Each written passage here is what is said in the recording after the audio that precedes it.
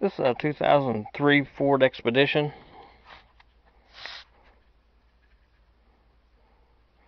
Five four in it. I was having trouble out of the air conditioner not cooling in the front.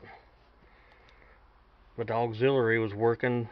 Then it started working intermittently. And this line here was getting cold. And the cold was stopping right at this T on the low side. It was just lines going into the front are lukewarm. And when the sometimes the back worked, sometimes it didn't.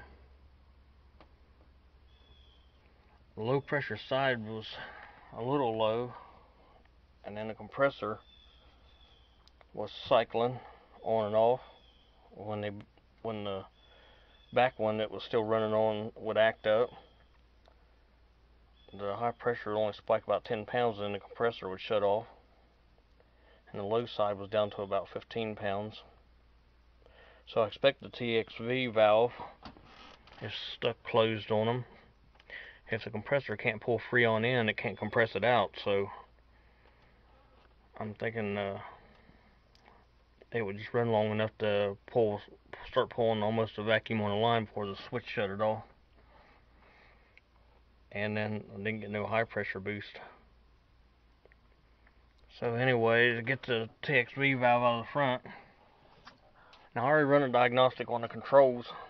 And like I say, pretty much the refrigerant line this refrigerant line was staying lukewarm and it had enough freon in it so. And the compressor was working. And when it did work the pressures were good on it just running off the auxiliary. When the back don't work then the pressures aren't very high and the low side almost goes like say about uh, 10 15 pounds and then it shuts off because this switch here I expect on this TXV valve, but I had to take the engine computer off of it, this bracket, and unplug it. First thing I did was unplug the battery. Then I pulled the computer off this mounting bracket and pulled all the plug-ins off of it. Now I'm taking this mounting bracket off and I'm going to take the battery. I took the battery hold down, has a 10 millimeter holding it battery in the tray. I'm going to pull the battery up out of the way to get some more room back to this TXV valve. Since I'm having trouble out of the air conditioner, I think it's the TXV. And I gotta hook the lines up to it, get the freon out of it. I went ahead and recovered the freon out of it. So all I got to do is take it apart. There, there is some pretty high pressure on it, so the freon needs to be drained out of the system before you start taking any of the air conditioner lines apart, or you get hosed down with refrigerant and oil, dye, and that's generally not good for the atmosphere. I'll be make a reference to the TXV is another name is expansion valve. So expansion valve and TXV is the same thing. That's that's it right there. That's a new TXV or expansion valve. Thermal expansion valve, TXV. This mounting bracket has three 10 millimeter bolts in it. I got the ECM bracket off. looks like I'm getting down into where I need to be now. That's the TXV valve there that regulates the refrigerant going into the evaporator. It looks like it's got a low pressure switch wires are clipped on the bottom of it. Couple of fittings and it's mounted on the side with some 10 millimeters. What's holding the block on is a 10 millimeter right in the middle there. I'm gonna take that 10 millimeter out after I break these lines loose. And probably get that clip holding the wires up off.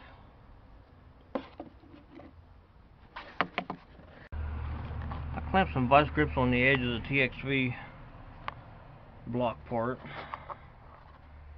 Uh, whatever you do, if you're installing a new one, don't hit that disc on top with the vice grips in any way. Damage it, or it won't function properly. The, the top line nut is a 7 8 fits it real good. And the bottom's a 19 millimeter or 3 quarter. Will fit it good. And then there's a uh, like a T25 Torx bit holding the wire harness to the bottom of it. And uh, some other plastic plug in.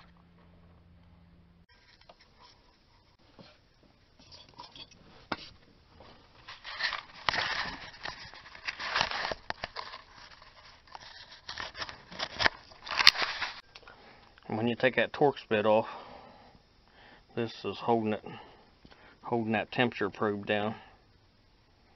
Thermocouple, whatever you want to call it. This clamps on the back side of it. Underneath is a little white plastic wire holder.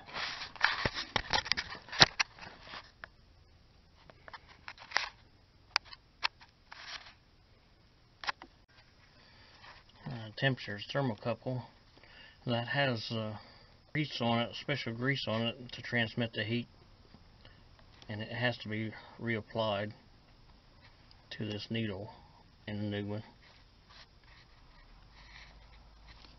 It's a white grease.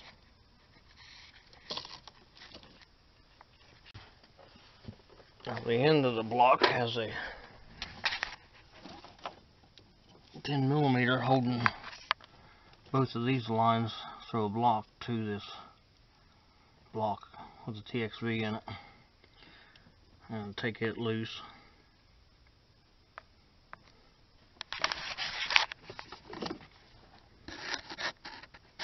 The middle one. I need to get my new one ready with new O-rings. O-rings got to be replaced on it every time you take it apart.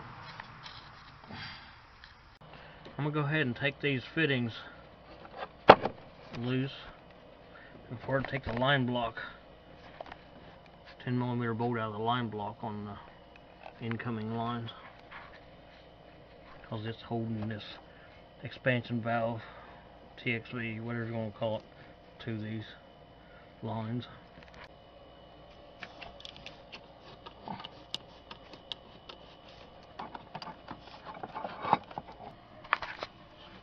get this 10 millimeter bolt down the middle of the other two. Okay, I'm taking this center 10 millimeter bolt loose to get the line block off.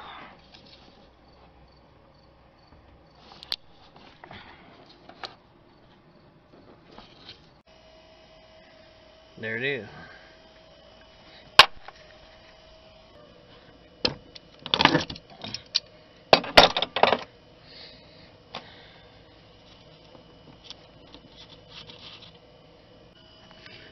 I'm going to take that 13 millimeter loose on the TXV bracket so I can pull it back away from the lines.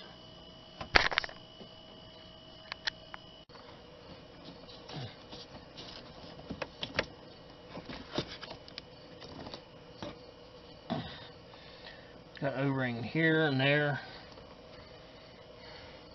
Too much oil in it, looks like, dripping out of it. You really want to get this changed as fast as possible to keep moisture intrusion from getting in the system. Alright, this new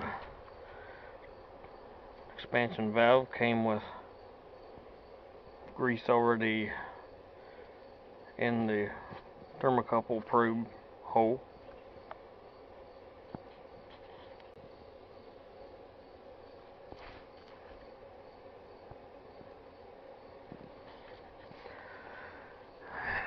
and new O-rings. Whatever you do, keep this stuff absolutely clean. Uh, these O-rings need to be coated with PAG oil before they're installed.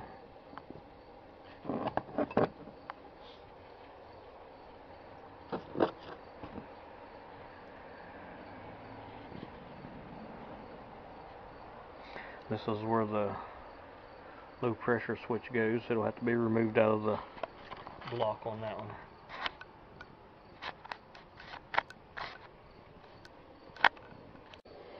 Yeah, I I've tried to blow through the other expansion valve. It stopped up where this one lets air get through it.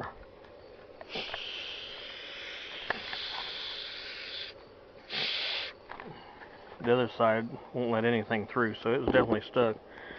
Now I need to put this pressure switch in, this crescent wrench, and this plug, this cap plug has has an O-ring on it, and I'll change the O-ring on it.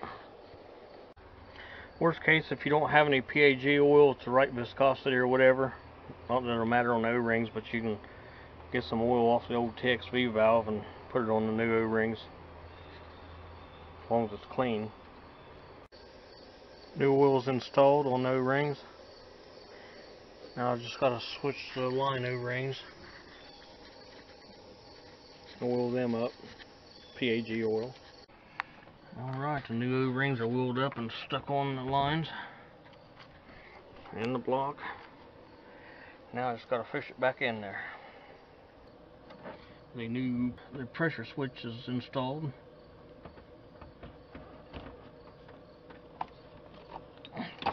Try not to damage your O-rings.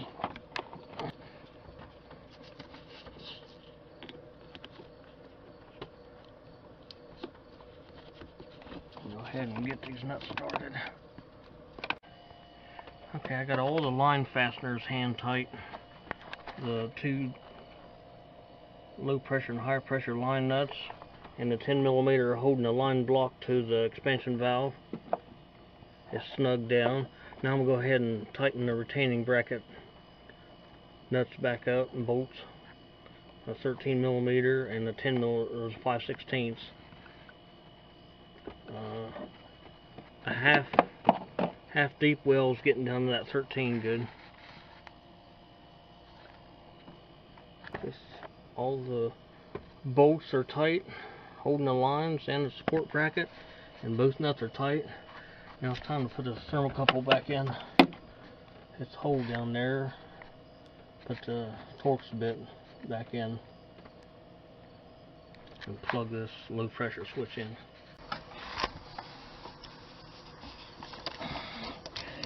The thermocouple. Here's the wire with the Torx bit still in it.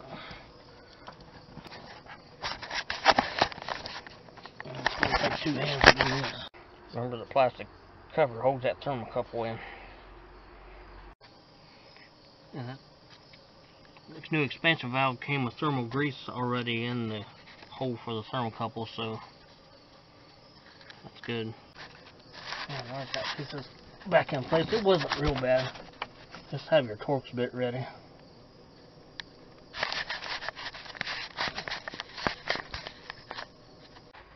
Now just put your computer mounting bracket back on the computer, put the battery and the hold down back on and put the cables back on, tighten it up. And pull vacuum on the system. And this one takes, with auxiliary, takes 54 ounces of Freon. Looks like it's got plenty of oil in it. That should get him back up and running.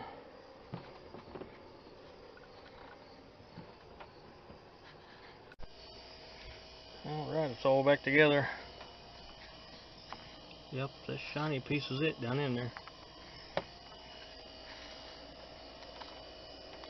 Now I'll pull vacuum on the system for a few minutes. And tomorrow I'll pull, finish the vacuum and uh, put 54 ounces of Freon in it. Gotta hook the lines up and pull vacuum on the system and fill it full of Freon. This is a high side port and that's a low side port.